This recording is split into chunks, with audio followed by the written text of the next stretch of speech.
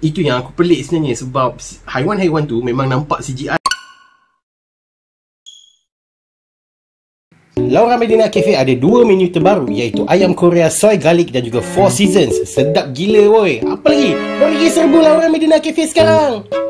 Assalamualaikum dan juga salam sejahtera Hai, kembali lagi ke Zaf Vlog So hari ni Zaf nak buat sedikit review tentang TV siri terbaru di Netflix iaitu Daybreak TV siri Daybreak ini masih lagi belum keluar di Netflix Malaysia maupun di serata dunia Zaf ingin mengucapkan jutaan terima kasih kepada Netflix Malaysia Kerana memberi peluang ini dan percaya kepada Zaf untuk tonton dan review tiga episod pertama uh, TV siri Daybreak yang bakal keluar 24 hari bulan Oktober 2019 ini So Thank you very much Netflix. Uh, so, let's get on with it. So, TV seri Daybreak ini memisahkan tentang Josh Wheeler, seorang remaja uh, dalam perjalanan dia untuk pergi mencari pasangan dia, girlfriend dia iaitu Sam uh, selepas satu bencana yang telah melanda Glendale dan California dan satu dunia uh, yang menjadikan kesemua orang dewasa kepada satu form of zombie. Okay, satu zombie tapi dalam filem ini dia orang menggelarkan zombie itu ghoulies dalam perjalanan dia nak mencari girlfriend dia Sam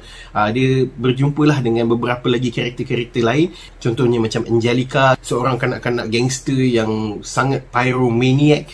Dan uh, juga Wesley uh, pembuli dia yang dulu dan kini telah insaf. Overall TV seri Daybreak ini uh, bagi aku dia adalah gabungan. Dia adalah gabungan daripada beberapa filem yang aku tahu sebelum ini. Contohnya, dia ada Zombieland, dia ada Mad Max, dia ada Paper Town So ada banyak lagi lah. Sepanjang aku tonton tiga episod pertama ni Aku dapat rasakan macam cerita ini adalah mash up Daripada banyak-banyak filem yang popular. So um, Yang paling banyak ditekankan dalam filem ni adalah Zombieland dan juga Mad Max. So bagi aku Kalau kau tengok TV siri ni Kau akan rasa macam kau tengok Zombieland dalam bentuk TV siri Mad Max dalam bentuk TV siri So memang it was nice. Aku sebenarnya jujur lah Aku jenis jarang melekat dekat TV kalau aku nak tengok TV siri yang panjang contohnya ada berseason-season kan uh, kecuali macam aku tengok The Big Bang Theory uh, Breaking Bad itu adalah salah satu contoh TV siri yang aku kekal menonton dan binge watching lah. Memang sentiasa aku takkan stop tengok TV siri dan aku jarang jumpa TV siri TV siri yang baru yang keluar di Netflix yang aku dapat tonton secara secara momentum yang okey. Selalunya bila aku tengok episod pertama, even episod pertama pun susah aku nak habiskan. Tapi untuk taste untuk Daybreak ni uh, setelah diberi akses 3 episod pertama, aku rasa macam aku lagi berminat nak tengok seterusnya. Aku sejujurnya aku tak sabar 24 Oktober ni untuk aku sambung episod keempat. Sebab uh, dalam setiap episod dia tak ada satu momen yang kau rasa macam bosan tau. Aku ini bukan sebab dia orang bagi akses aku percuma. Tak bukan. Aku pun bayar Netflix tapi aku dapat akses awal je.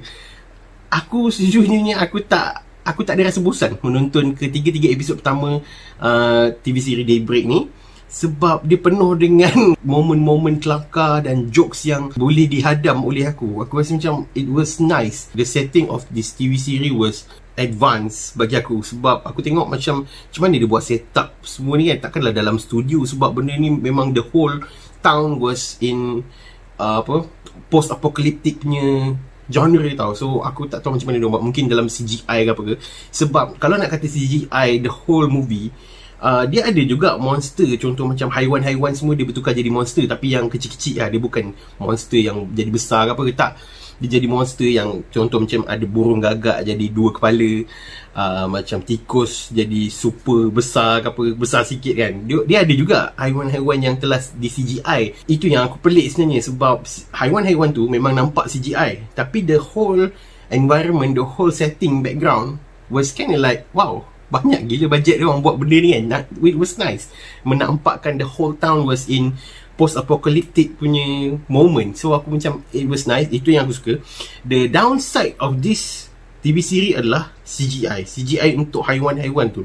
Memang nampak sangat CGI Aku tak tahu mungkin yang aku tengok ni Yang bukan final cut ke apa ke Tak tahu. Tapi aku ni nampak CGI dia sangat teruk. Tapi jalan cerita was nice. Aku sangat suka the uh, kombinasi ketiga-tiga karakter utama dalam filem ini Josh, Angelica dan juga Wesley ketiga-tiga ni memang ada peranan masing-masing dan dia punya uh, karakter tu tidak tidak membosankan. Diorang ni memang ada karakter masing-masing yang membuatkan filem ini interesting. Okay? Sejujurnya memang aku tak sabar nak tengok episod yang keempat sehingga ke sepuluh kalau tak silap aku tak tak pasti ada berapa total episod uh, memang aku recommended kepada semua yang kalau korang jenis yang suka filem-filem post apocalyptic macam Zombieland, Mad Max dan juga dalam filem ini ada sedikit ada secubit genre seperti Paper Town okay? Filem drama. So aku, aku it was nice. Dan kalau korang suka apa apa filem-filem yang aku mention sebelum ini korang bakal suka TV seri Daybreak so uh, TV seri Daybreak ini bakal keluar 24 Oktober ini worldwide. Satu dunia boleh tengok TV seri ini.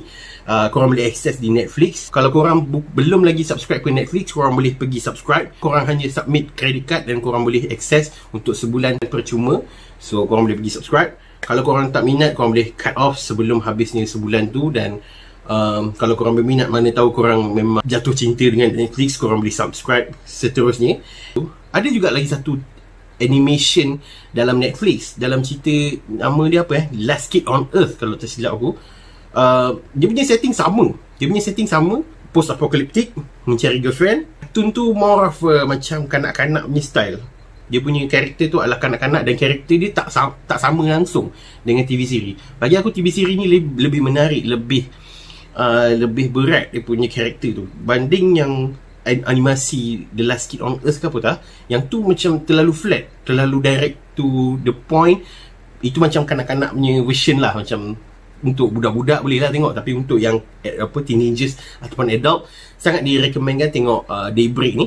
So uh, 24 hari bulan ni. Kalau you guys dah tonton uh, TV seri Daybreak ni Apa pandangan you guys? Tinggalkan komen kat bawah. Jangan lupa untuk like, share dan juga subscribe ke channel Pure Pixels Dan jumpa lagi pada Zaf Vlog akan datang Thank you. Thank you very much to Netflix Malaysia